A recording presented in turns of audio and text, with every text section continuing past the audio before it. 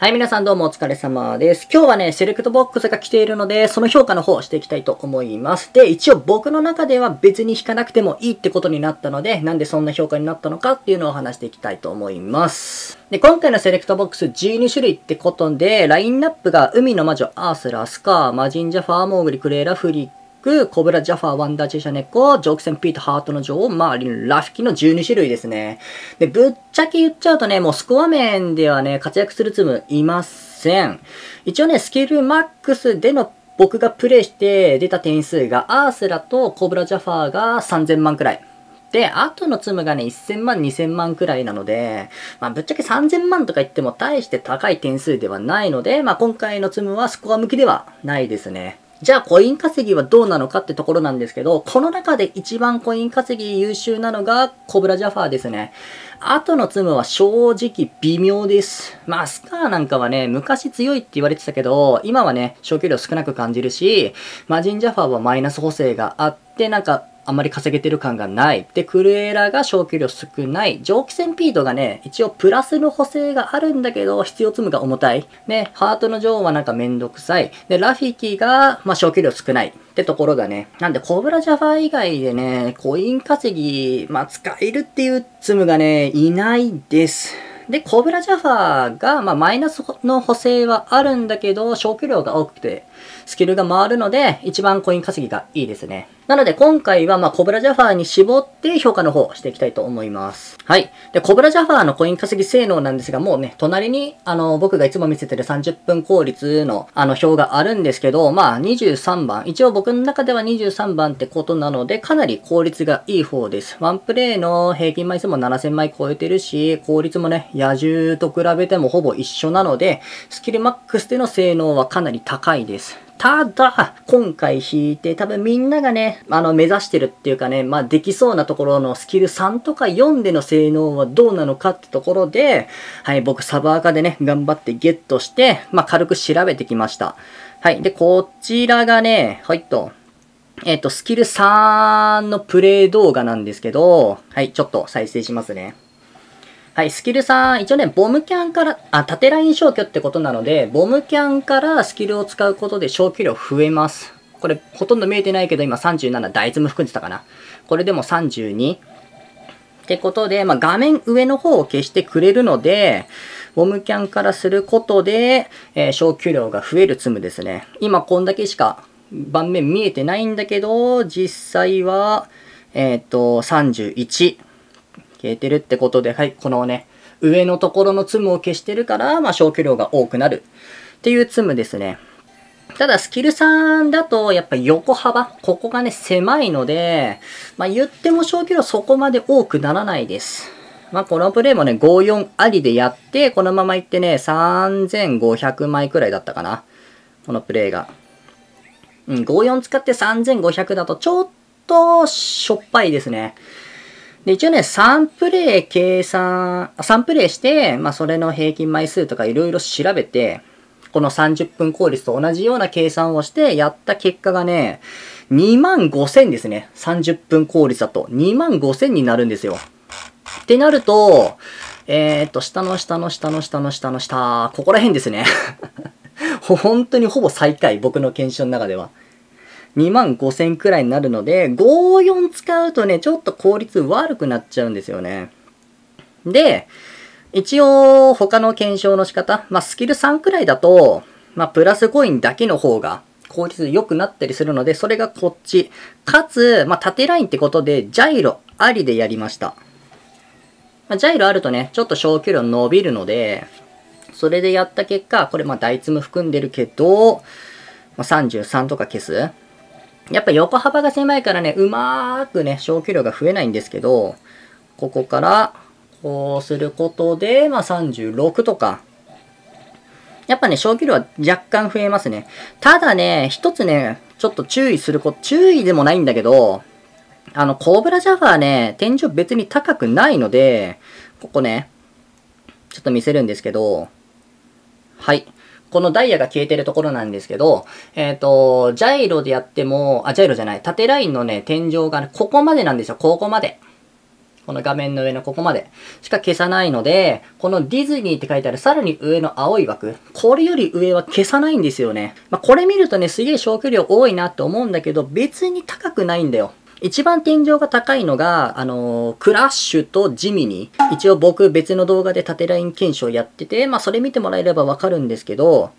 クラッシュとジミニーはさらに上のところまで消すので、同じスキル3でもクラッシュはね、43とか消すんですよね。なので、スキル3で比べるんだったら、まあ、クラッシュとかの方が断然稼ぎやすいです。まあ、こっちはさらにマイナス補正あるからね、スキル3。てか、コブラジャファーは。で、一応そのスキル3のコインアップのみのジャイロありの効率を見ると、えっと、平均がね、2100。まあ、このままいくと2000枚くらいかな。まあ、2200くらいで30分効率に置き換えた場合、3万ですね、3万。3万426ってことで、一応ね、ここら辺かな。お姫様ミニガジェットあたりと同じくらい。なんで、スキル3まで育てても、まあ、報酬積むのガジェットとほぼ同じくらいの性能しかないです。ってことで、じゃあスキル4はどうなのかってところなのよ。で、スキル4になるとね、一気に伸びるんですよね、このツム。さっきのスキル3がね、まあ、ジャイロじゃなくて、普通にボムキャンからしても30消去とか言ってたのが、あ、これもちょっとめちゃくちゃ好きでもあったんだけど、あの、横幅がね、一気に広がって、ここから、30、あ、これ33、ちょっとあれか。第一無含んで36、明らかに小気量増えてるんだよね、3から4で。ほら、38。これ3から4のね、あのー、消去範囲の上がり方がめちゃくちゃあります。だから、コブラジャファーを使うとしたらスキル4からってことになりますね。でね、平均枚数もう40秒で3000枚とか言ってると、これめちゃくちゃ最初、枚積む振ってきたからわけわからん数字になってるんですけど、一応このままいくとね、6000枚。こう来て、だいたい6000枚ぐらい。一応ね、これそのまま3プレイした結果がね、これも6000枚超えて、ここも6000枚なんですよね。なんで平均6100枚くらいかな。6100枚くらいで、さこの30分効率でいくと、なんとね、5万5000になったんだよね。5万5000って言うとね、えー、っと、55949なので、えー、っと、ここら辺。えー、スキルマックスのクラッシュとかワートとか、スキル4のコブラジャファーでここら辺にいるんですよ。なので効率自体はめちゃくちゃ良くなります。ただ、このボムキャンからのスキル、スキルゲージに繰り越しのこの消去量を増やすっていうテクニック込みじゃないといけないので、まあ、そこがちょっと難しいところかな。そんなところです。で、まあ、さっきと同じように、あの、コインアップのみのスキル4のジャイロ。やってみたんですけど、まあ、横幅が増えたから消去量はね、ちょっと安定して増えるようにはなったけど、まあ、あんまり増えてる感ないよね。うん、ぶっちゃけちょっとスキル回るようになったかなってところで、効率自体はね、そんな増えてないです。一応、プラスコインだけの方も3プレイした平均やると2800ぐらい。これが2000、これ3000ぐらい届いたかな、このプレイは。で、スキル4コインアップのみの30分計算をすると、ちょっと下だね。41749、41000になるので、ここら辺、アズールとかと一緒。アズールが弱いんだけど。まあ、プラスコインのみで、まあ、ここら辺になるので、スキル4になると、えっ、ー、と、54使った方が効率が良くなります。まあ、話だけだとよくわかんないんで、ちょっとね、メモだけ取っといたんですけど、はい、見えるかな、これ。ちょっと文字薄いかもしれないんだけど、スキル3の30分効率でいくと、54使うと、まあ、30分で2万5000稼ぎぐらい、アイテム分とか引いてね、ま、平均が3700。で、まあ、プラスコインのみの、まあ、ジャイロ使うと、まあ、3万ってことで、スキル3だとプラスコインのみの方が効率がいい。で、スキル4だと、54で5万5千。プラスコインだけだと4万1000ってことで、スキル4だと、えっ、ー、と、54使った方が効率が良くなります。ただ、こんだけ強い。てか、普通に使えるようなツムなんだけど、今回の評価は別に引かなくてもいいってことになった理由がですね、リドルがいるんですよね、今月。リドル。はい、このツムですね、リドル。このツムがいるから、今回のセレクトは引かなくていいってことになってるんですよ。リドルがね、スキル1からでも強い、まあ普通に稼げる性能を持ってるので、はい、スキル1で3万7000。でしょ？で、さっきの、えっ、ー、と、コブラジャファーのスキル3見ても、スキル3のコインアップのみで3万なので、リドルのスキル1に負けてるんですね。で、じゃあスキル4の5万5千ってなってくると、僕ね、リドルのスキル4はまだ検証してないんですけど、一応リドルのスキル3で5万1000なんですよね。5万2千ぐらいかな、ほぼ。だからスキル4になれば、おそらくコブラジャファーよりもちょい上行くぐらいってなってくるので、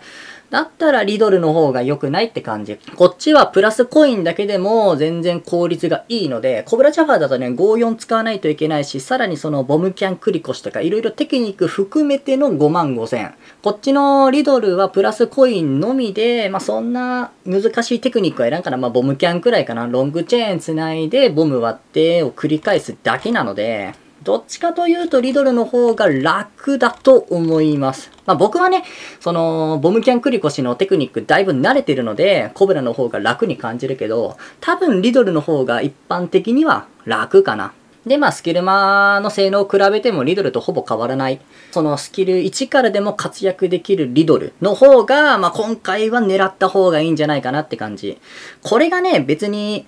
コブラジャファーが弱いって言ってるわけじゃないんだよ。コブラジャファーは強いんだけど、出てきた時期が悪かっただけ。そう、これがね、この9月じゃなくて、例えばちょっと前の6月とかにもし出てきてくれたら全然コブラジャファーをおすすめしてたんですよ。はい、6月の新ツムとかだと、ウッディバーズ、マックイーンとかこのラインナップね。このラインナップの時にもしセレクトでコブラジャファーが出てきたらコブラジャファーめっちゃ強いから引いてねとはなったんですけど、今回リドルなので、リドルとか9月の新ツムリドルがいるからこっちの方がいいよって言ってるだけです。ただ、あくまでもコイン稼ぎをするだけだったら、リドルの方がいいってだけで、普通にキャラが好きだとか、持ってないから手に入れたいとかだったら全然引いて構わないので、うん、コイン稼ぎしたいんだったら、リドル。手に入れた方がいいと思います。今回のセレクトボックスはスルーにしてコインを温存しといて、リドル引けて、まあリドルにスキチケ3枚4枚入れれば、スキル3とか4上がってくるとかなり優秀なツムになってくるので、1からでも活躍できるリドルか、4からでやっと活躍できるコブラジャファーかって言われたら、まあリドルの方がいいんじゃないのっていう結論になったので、まあ今回はセレクトボックス引かなくてもいいと思いました。はい、ということで今日の動画はこれで終わりになります。もし参考になったら嬉しいです。お疲れ様でした。バイバイ。